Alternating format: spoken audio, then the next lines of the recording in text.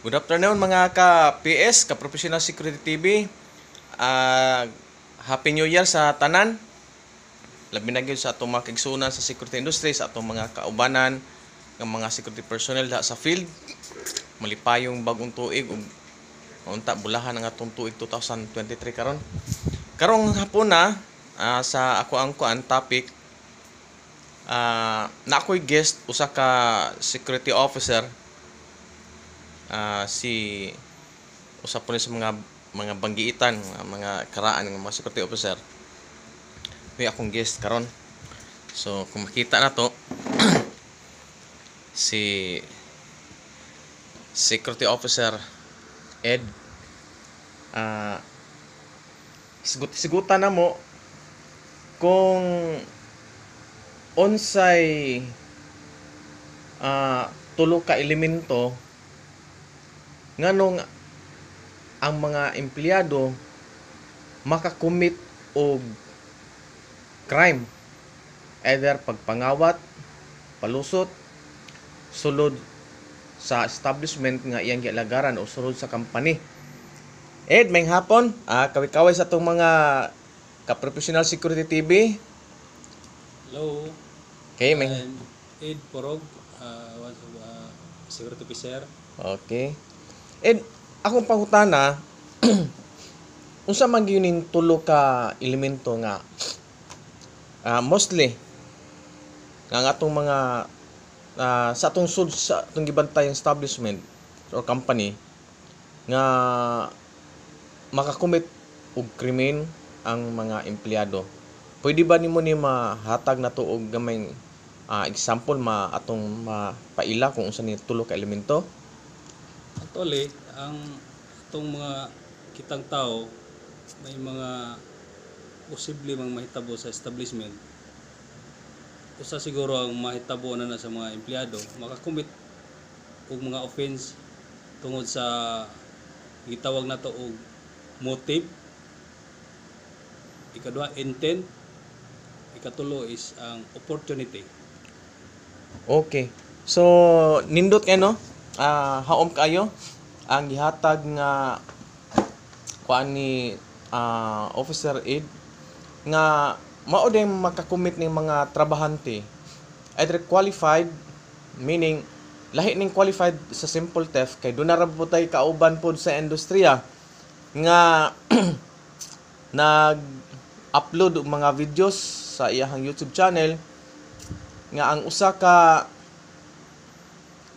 sa iyang content nga nakita na to ato niya itong i-review nga ang iyang naki ang ang iyang content ed sa iyang report nakita sa iyang guard nga dunay nikat-kat sa paril sa perimeter fence. Nga naidang sako na do sulod nga mga laptop sa patong ubana. Then sa iyang conclusion sa dunay siya conclusive findings nga niingon siya nga therefore it was clearly uh, that the crime has been uh, qualified has been committed qualified theft. Amo na atong ikla- i-clarify ha? Okay. siguro dili lang siguro to siya mo lagi ni tungod sa pag-apas nga makahimog bisag usa lang videos para makakita daghang daghang mga ah, subscribers. Bisag usa lang mga content ipang-upload ang qualified theft under sa atong article 310 sa atong revised penal code o kodigo penal. Ang qualified theft committed by kanang gitawag og grave abuse of confidence o kanang giingon din ha nga domestic servant. Kung ang usa ka tawo nga nagtrabaho na sa sulod kumpanya doon na siya direct control over the item cash unsa pa na diha gisaligan siya nya nanguha siya pasok siya sa article 310 qualified theft apan kung ang usa ka trabahante nangawat siya nga wala siya direct control over the item sa cash unsa pa na diha? Mahimo lang siya nga simple theft mo na siya kalainan sa simple theft o qualified theft. Simple theft under article 308 sa atong revised penal code. So balik ta sa sa katong gihatag ni sir ni officer aid nga katong tulo intent motive ug opportunity. Doon na sila intent kay na sila direct knowledge nga unsay naa din na sa sulod. Yes. na sila motibo. Kay siyempre ang kanang gitawag og ah dako na kay kog kuan ani? Chance ani nga paki kahibaw sa movement kahibaw unsay unsay pa Kapag pasikot-sikot sa sulod, okay unsa pa? Say overall nagi siya knowledge Oh. yung pagpatuyo sa sulod. Sakto. Na makalusot ang usa ka butang. sakto plus factor kanang gitawag og imo naging opportunity. No? Yes. so kung naa ng tulo din ay sigurado gyud nga malutsan ang security. No? Kay ang lisod ra bang kung ra bang internal theft? Ano mga internal nga mga nangaw kaysa atong kuan mga ah, outsider? No? Sa imuhang kuan officer ed unsa imuhang i ka ah, advice sa mga atong mga security personnel sa field para ma ah maingon na to ma-mitigate ang maong mga ah, elemento katong tulo. Unsa may buhaton ka sa security guard sa establishmento o sa company para ma-mitigate ang maong tulo ka elemento. So far sa akong knowledge no, ma-share na ko sa ato ang mga kapariho o ah, trabaho bilang sa security industry ah, sa atong mga empleyado sulod bilang ah, kita usa ka security ato lang yung i identify mga tao nga nasa sulod usa na siya.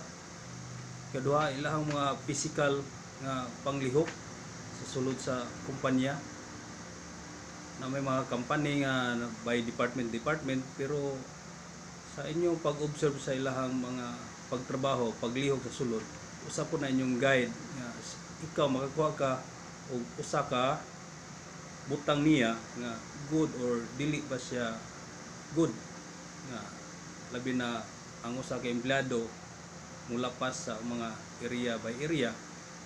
Kaduha inyo yung i-prosigir o monitor ang usa ka empleyado kung usay gitrabaho o haon ba siyahang gitrabaho anang orasa so manay usa na to nga ah, i-observe diya sa sulod kumpanya para malikayan nga nay mahitabo sa sulod. Once nga na mo'y ma-observe, immediate uh, i-report sa inyong leader or inyong head guard, inyong superior para ma-verify siya. Para kung sa iyahang makuha bilang sa inyong mga information, anyo ng supervisor may magitag paagi nga katong tawhana maiyang ma-intercept para maklaro una niya mahimuan og saktong information una ipabot sa iyang pikas direct superior. Okay. O- Okay, daghang kayong salamat ah, Officer Aid sa imuhang mga bulawanon nga idea as dugay-dugay na po sa industriya sa security ah, industry na nagi tay ma makatunan. Unya in addition sa imuhang statement ah sakto gyud dapat ang mga security personnel aware kung unsaon la pag-observe ang mga lihok movement sa mga tao sulod sa kumpanya nya kisa tong medyo mga sipaton you know dili tanang sipat. Macha ma-charge na to nga may nana doon na siya mga hilomon nga hilom sa pagkaayo ang nag- naglihok no? So muna kinahanglan jud ang kanang gitawag og ah, supervision sa mga personnel sa field. Unya ang mga ang ato sa mga posted guards. Doon na say kanang Physical monitoring. Ah, unya kamao gid sa sila mo hatag og kanang pag na may may may nato nga unsay kalainan aning movement nga o kaning usa ka movement.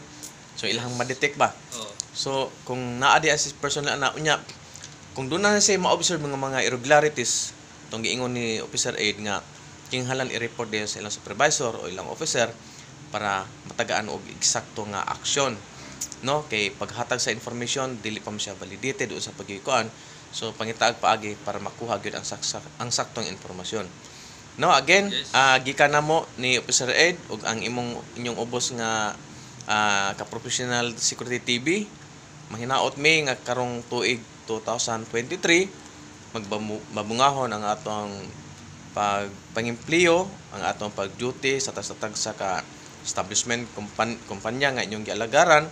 Unya kami sad padayon sad mi isip mga officer ah, nagkat-on o mas mapalawman pa ang, ang mga pagtuon para mahatag pud nato sa atong mga subordinate sa atong mga kaubanan sa field ang sakto nga giya proseso nga angay makatunan usab kilan. Daghang salamat ug maayong hapon kanatong tanan.